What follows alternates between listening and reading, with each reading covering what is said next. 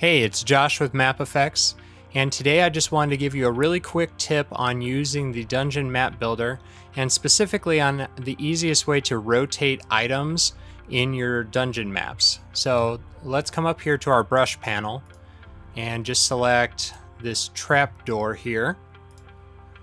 So if you're going to stamp the brush, obviously it's always going to stamp in the same direction.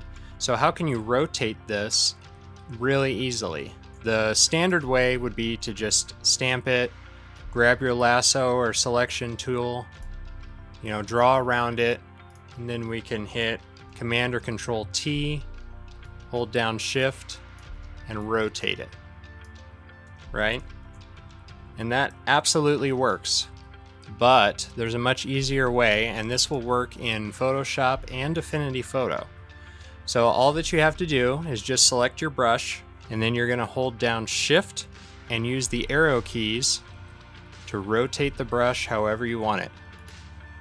And it's as simple as that. And like I said, this will work in Photoshop and Affinity, so give it a try, and I think that you'll find that it makes things much faster than the traditional way to do it. I hope you found this helpful, and I look forward to seeing your map.